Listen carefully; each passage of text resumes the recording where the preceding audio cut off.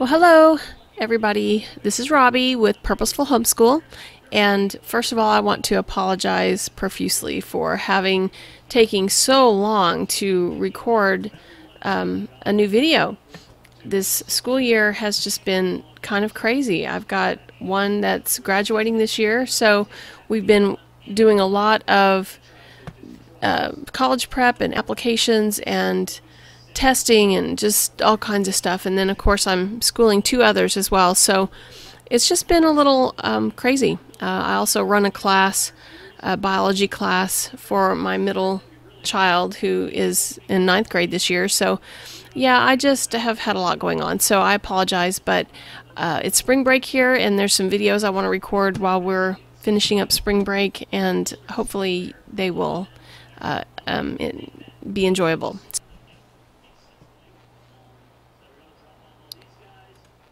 So, okay. Um, what I wanted to talk to you about today is Times Tales. And I just lost my place here on this video, so I'm going to try to fix that now. Um,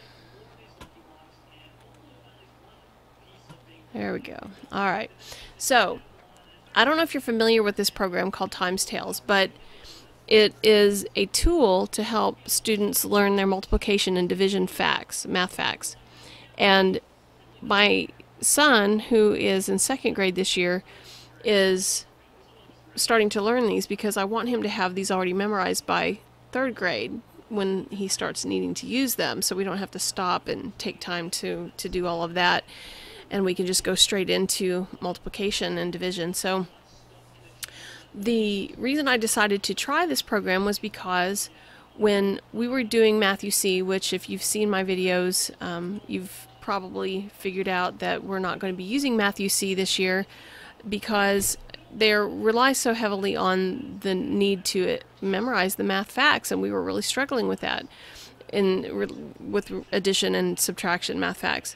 So I didn't want to just hold him back because of that because he understood the concepts. And there are tools to do addition and subtraction math facts. You can use manipulatives, you can use your fingers, you can use mental math tricks, you know, that sort of thing. So I really just didn't want to hold him back because of that. And so I decided to go with a different math program this year. I decided to try Shiller Math, which is a Montessori based program. And it is um, definitely not one that requires you to memorize math facts. In fact, their philosophy on that is that kids will automatically learn their math facts as they use them over the course of time. And this is actually exactly what has happened with my son. The more we do math, the more facts he just knows. And he doesn't have to rely on the, the mental math tricks or the manipulatives or counting on his fingers or whatever to, to recall those. So I will do a separate video on our Shiller Math and I want to show all of the different tools that it comes with and how we use the program. But in this particular video, I wanted to talk about Times Tales because we have just thoroughly enjoyed this. It is just a wonderful program and I know that there's lots of tricks for doing the addition and subtraction facts, but not so much with regard to the um, the uh, multiplication facts. I mean, you just have to know those. So I didn't really want to start with the drill and kill thing with these because I just knew it didn't work before and I didn't want to do it again. So the concept behind this program is that the each one of the numbers is a character. So, for instance, the number six is a little boy, it looks like a little boy, who represents the sixth grade class, and his head is in the shape of a six. Um, the four is in a chair, in the shape of a chair. The seven is in the shape of um, a woman named Mrs. Week because a week has seven days and a nine is a treehouse, and the number nine is incorporated into the drawing of the treehouse. Um, the eight is a snowman. So they then build a story around these characters, and in the process of building the story, the answer to the multiplication fact that they're referring to is built into the story. And it's actually purely uh, pure genius. And it, we've really um, enjoyed this. As a matter of fact, we've only been through part one so far, and he learned his math facts so fast with part one that I just couldn't wait to share this with you guys because it has been so effective. Literally, one day he learned all of the math facts for three, four, six, seven, and nine. So then, of course, we'll do the part two, which will be um, seven. You know, the upper the upper Times Tales, the upper times times skills, whatever. Oh my gosh. So anyway, forgive me. Um, the easy ones they don't go through, like they don't go through ones, they don't go through twos, and they don't go through fives because those are pretty easy for kids to remember. But the ones that are a little more difficult, yes, they'll cover the rest of those. So I wanted to play a little clip for you because this is actually a channel, um, the Times Tales channel, Learning Tales Times Tales, and they have 15 minutes of their program on here. So you can go to this channel, and I'll link it below, and you can actually try the program for free on YouTube for the 9 times 6, 9 times 7, 9 times 8, and 9 times 9 and see if it works for you. And so, uh, just to illustrate what it is about and what it does, I wanted to play a little clip here so that you can, you know, see how it works.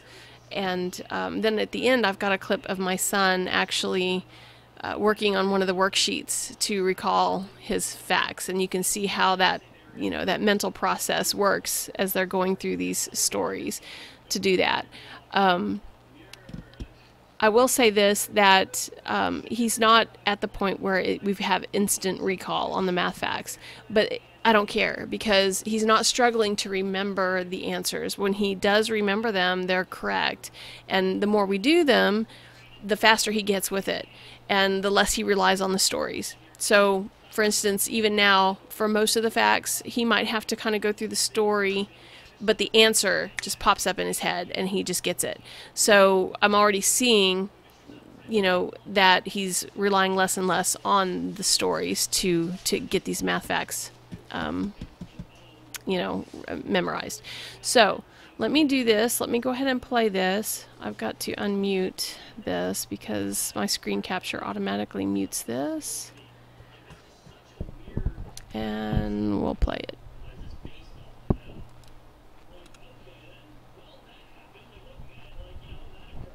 There were two tree houses. The first tree house grew eight apples, and the second grew only one apple. Have you ever seen a tree house in an apple tree before? I wonder what caused one tree to grow eight apples while the other tree grew only one.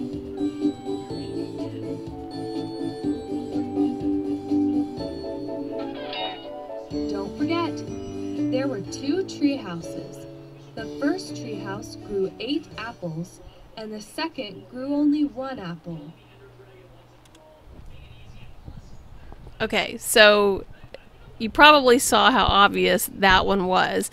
So the tree house is the number nine. There's two of those, so nine times nine. And then one tree house grew eight apples, the other one grew one, so 81.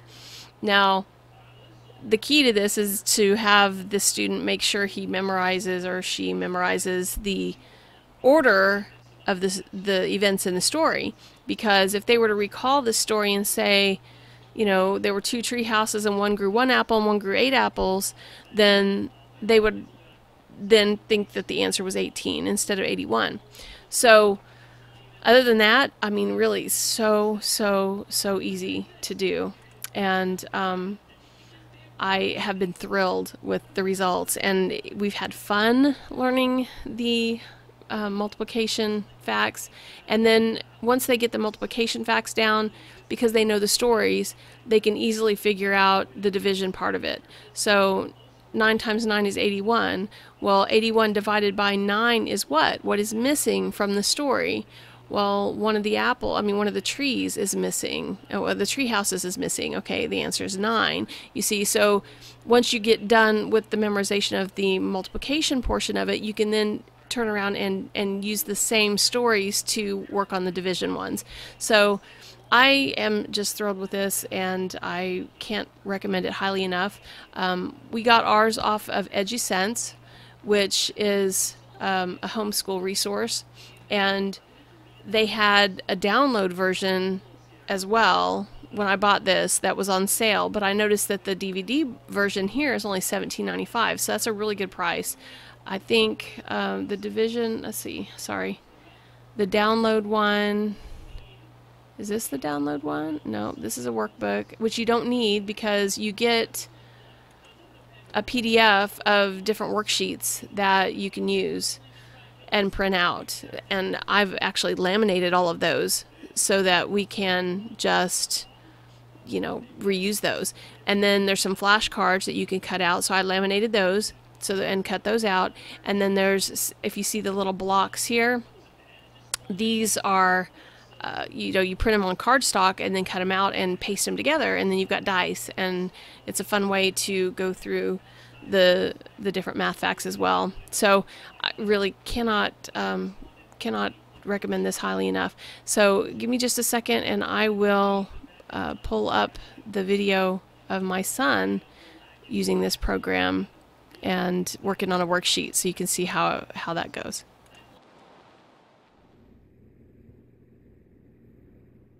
This is Mrs. This is Mrs. Week and he went back by 121. Yeah. I remember the story. Hmm. This is uh Sam. This is Mrs. Snowman. She took her three buttons and two mittens. Sorry, two. Yeah. Sorry, two. Is that what it is? Mm-hmm. Mm-hmm. This is Mrs. Snowman. This is a butterfly. She melted Yep. two butterflies and t- took her arms and and four butterflies took her eight twins. Okay. Twenty-four. Yep. Good job. Okay, so you've been able to get a glimpse of not only the program itself, but also um, a student, you know, using it in action. And so I hope that this was helpful for you if you've been looking for a solution to memorizing math facts or wanting to make it more fun or just wanting to help a struggling uh, student who is having trouble memorizing these facts, then I hope that this was helpful for you. Um, like I said, I can't recommend it highly enough. I'm thrilled with it. So, um, anyway, thank you so much for tuning in today and um, be looking for more from me because I have quite a few that I plan on doing here in the next few days before school starts up again next week. So, thanks again and have a great day.